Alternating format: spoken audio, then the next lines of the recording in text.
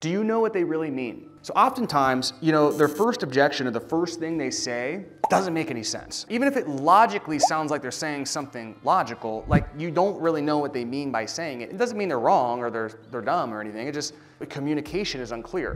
Let's say you drop the investment and they say, I like this a lot. Uh, I just really need to gather myself on this one. What does that mean? You know, does that mean you need to gather your finances? Does that mean you're not sure this is gonna work for you? Does that mean you need to gather your business partners? Like, what, what does that mean? So you would say, cool, no problem. Um, now, when you say you wanted to gather yourself, if I can ask, like, what do you mean by that? Very simple, right? But like, we need to do that always first before we even do any of the scripting. Does that make sense? Okay? Naturally, if you just have the intention of, I really wanna understand exactly what they mean by everything they say, you will just do this naturally.